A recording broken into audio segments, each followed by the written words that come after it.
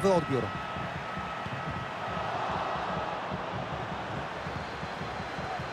Piłka do Bernardo Silwy. Uwaga, mogą wyrównać! I mamy gola dla Portugalii! W końcu mamy remis.